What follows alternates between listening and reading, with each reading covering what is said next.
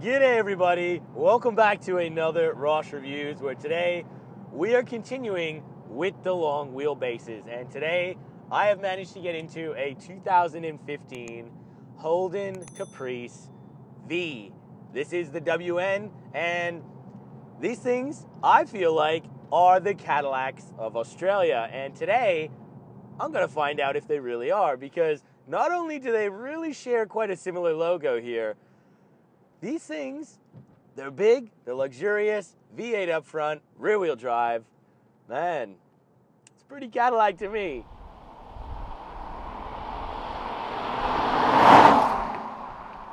Now, just before we continue with this Caprice V, guys, I do got to say a massive thank you to NextRide for loaning me this particular car. It is for sale, and they are a really cool dealership. So make sure you guys do check them out. A link is in the description below yeah, let's get back into this video. Now, it is a little bit confusing when you start looking at these luxury Holdens. Who's the king of the hill here? And I'm pretty confident in saying that this Caprice is the top of the line for Holden in a long wheelbase. I believe the Statesman is the one below the Caprice. And when you're talking like the Calais and stuff, that is basically the same level, but not long wheelbase. So it's more of just the regular sedan.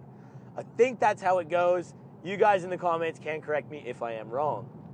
These things did come out from 2013 and they actually ran all the way up until 2017 when unfortunately Holden left us. And these you can really feel, you know, again, the interior and the dash up here, it is all VF and it really does look quite nice. You know, uh, the VF, they always nailed it. You know, you've got a flat bottom steering wheel here, just all the leather, the suede, even on the door sides here. It's just nice. It feels like it is a little bit more special, a little bit more premium, and especially in this particular model, you really want that.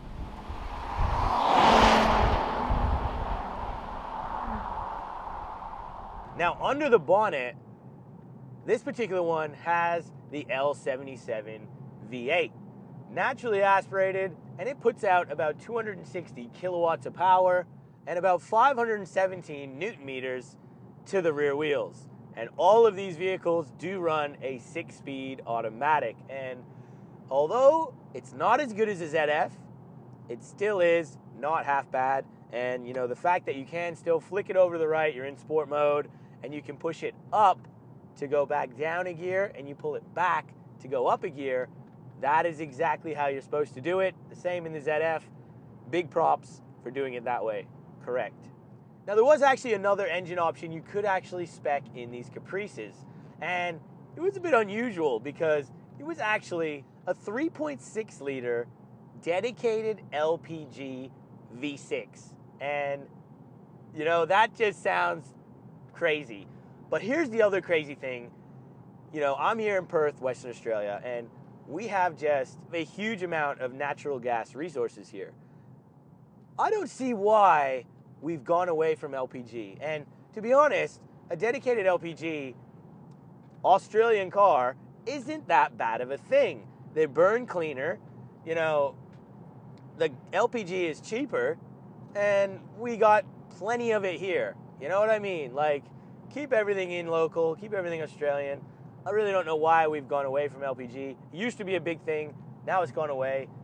Guys, leave it in the comments. What do you guys think? Should LPG make a comeback, or uh, is that just a thing of the past and we're going to EVs? Because I think I'd rather LPG than an EV. That's just me, though.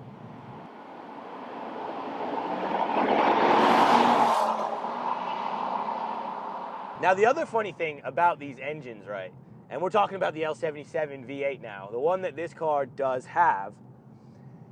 I was reading that apparently before the MY 15 update, these engines were flex fuel and you could put E85 in them. What? Like, leave the comments, start flooding it down below, man. Do you guys actually know if this is legit? Can you actually run E85 on a L77 before the MY 15 update because if you can, shoot, that's pretty impressive. Now, just pulling up to this very tight hairpin here, look, this thing is big and you know, we're in sport shift here, and uh, yeah, there's a lot of weight, but you know, it stays relatively flat. and man, even for a big girl, this thing can get up and move. Really, when you start getting into the higher RPMs, it loves it. So, yeah, it is actually not that hard to control this car. You know, the steering is light. It's a little bit too light for spirited driving, but again, this is a luxury car, and uh, yeah, it's just got muscle car features behind it. And again, you know, you pull it around, it does stay pretty flat. You still got a pretty nice note out the back. It's nothing crazy, but it still lets you know there's something under the bonnet.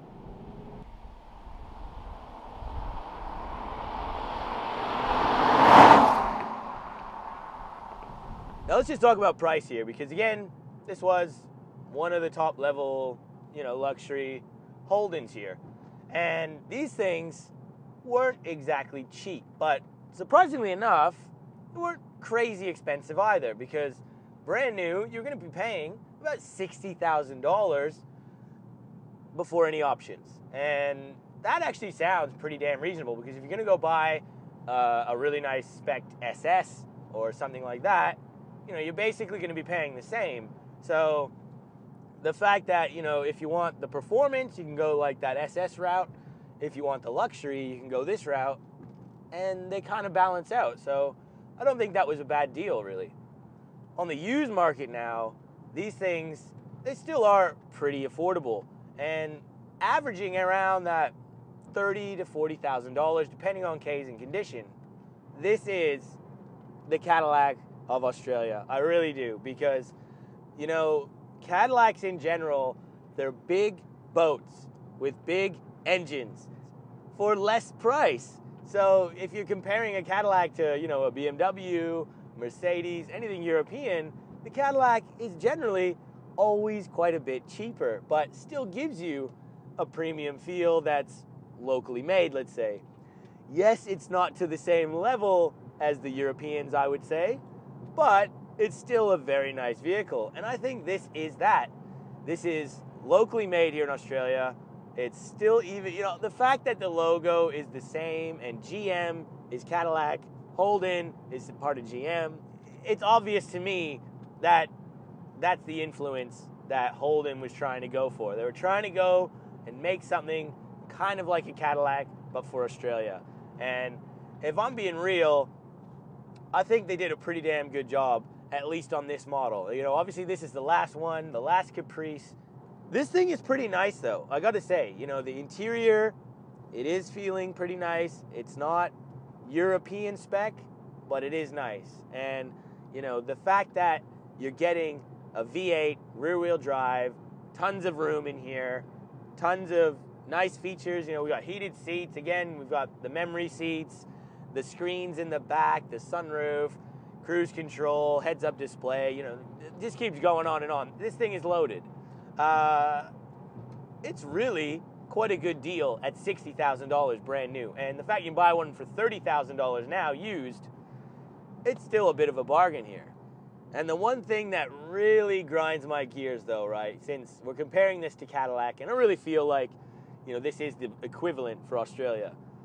It just is such a shame that Holden HSV is no longer going here because, you know, Cadillac is still going strong over in America. They've actually just started pumping some really crazy models out as well. And, you know, if we had the doors still open here, mate, the cars we would have been producing would just be absolutely insane. And HSV in particular, you know, we had the Grange and, and, and vehicles like that, which were just so good, so so good. And uh, you know the fact you were again picking those cars up for sub one hundred thousand dollars, that was getting very close to European spec. Now, if you guys are enjoying this type of content, please make sure you guys are going and hitting that big red subscribe button. Hit the like button because guys, that is how YouTube shares my content. That's how I get paid how I find other vehicles to show off for you guys. So Again, please, if you're enjoying the channel, make sure you hit the subscribe button, comment down below, just hit the like button. It really, really does help out, guys.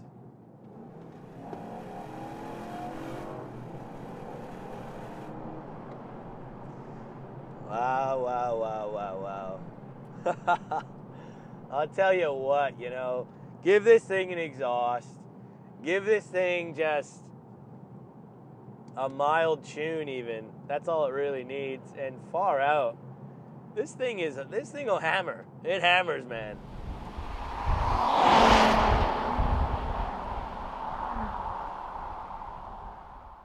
Alrighty guys, so we are just pulling back up onto another section of road here that should give us enough of a go here.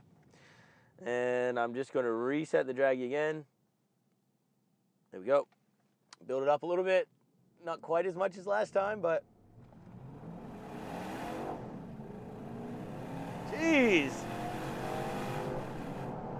It wants to spin, man. Let's have a look at what that time was, though. 0 to 100 was done in 6 seconds flat, and I actually think, you know, again, this thing felt like in first gear it was trying to spin up. So I really do feel like if you got maybe better tires or you're just on a better road surface and you hooked up more, uh, you could be close to, you know, mid fives probably on a really good run. That, that was pretty impressive for a big car. Damn, good job. Now I'm gonna finish the video off here today, guys. So look, a huge thanks once again to NextRide for loaning me out this particular Holden Caprice V because this is the Cadillac of Australia. And I gotta tell you what, this thing is bloody awesome. It really is. So I hope you guys enjoyed this video. I hope you learned something. If you did, make sure you hit that like button. Consider subscribing if you're new here. We'll see ya on that next video. Oh yeah.